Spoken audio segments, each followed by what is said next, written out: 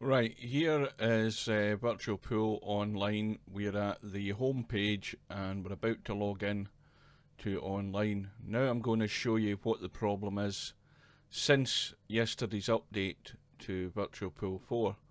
So you click log in to online, you log in and you join the lobby.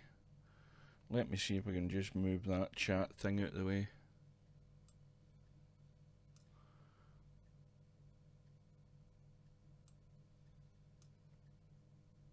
Right, forget that just now. Right, so what I'm going to do is I'm going to create a match room uh, for myself. And here is the problem. Whenever I play online, uh, I'm always in the hard times room.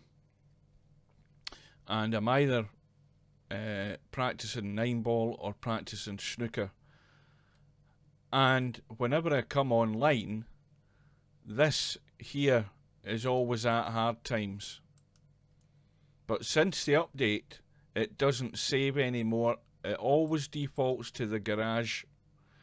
And if you then say OK to that, uh, you've got whatever the last game was you were playing.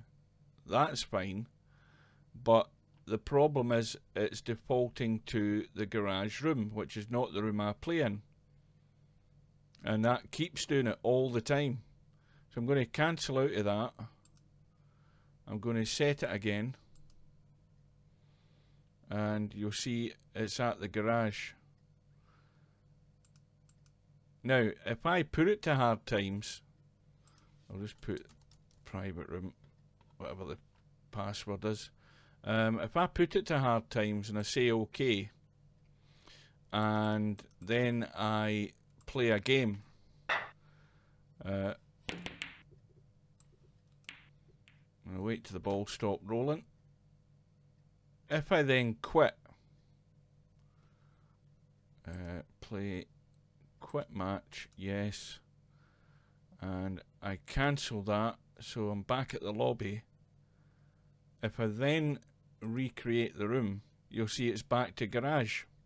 And that's where the problem lies. The, the, that's the problem for me because prior to this update, whenever I was online and provided I had chosen the hard times room, it always remained there as the hard times room. It never defaulted to the garage, which it's doing now.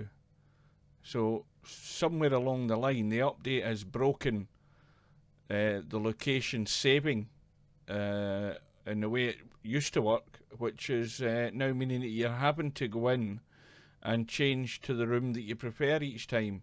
And I shouldn't have to do that.